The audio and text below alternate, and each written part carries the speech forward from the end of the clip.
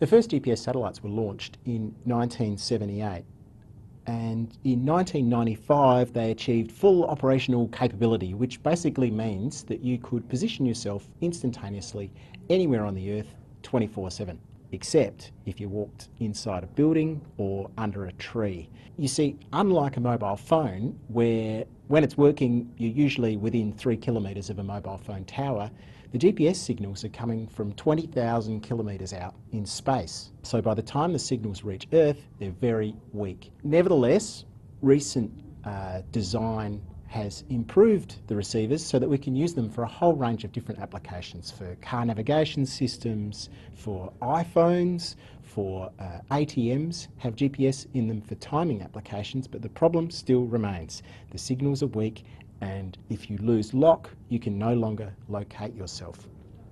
These days, uh, modern buildings are fitted out so that you can connect wirelessly to the internet, but they're still just as easy to get lost in.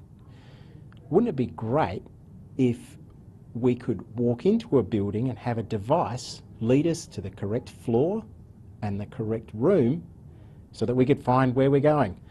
Uh, Dr. Binghao Li is a researcher in the School of Surveying and Spatial Information Systems and he's recently won some project funding to investigate an interesting application for indoor positioning. So if we can't use GPS indoors, is there another way of positioning ourselves? The answer is yes. Actually, we have many methods can be used for indoor positioning. Wi-Fi is one of them. Nowadays, you have many devices can access Wi-Fi. Um, basically, we use cell ID for Wi-Fi positioning, but not very accurate. And the most common way we used is called fingerprinting. So it's not fingerprint of human beings, it's the fingerprint of the environment.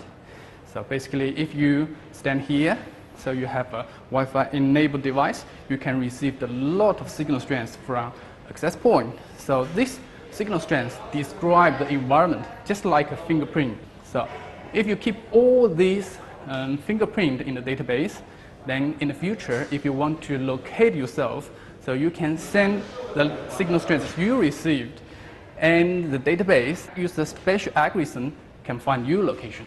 Ah, so is this a Wi-Fi positioning device here? Yes, this is the first generation of GFOM.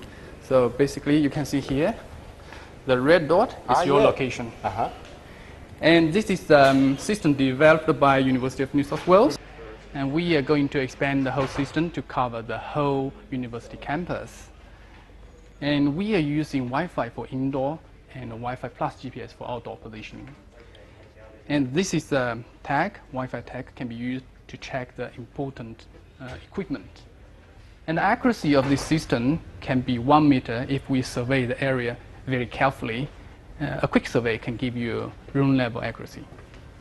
And there are a couple of systems around in market.